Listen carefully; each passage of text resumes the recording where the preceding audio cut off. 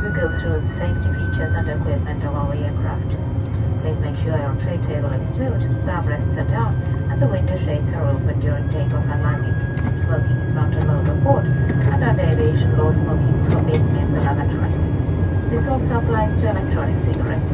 You must comply with all posted placards and lighting signs in the cabin.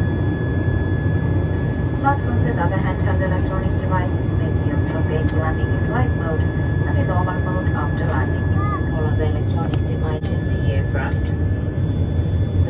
card in the seat pocket in front of you contains the same information and the following safety demonstration. Please review the important, information on the safety card before takeoff.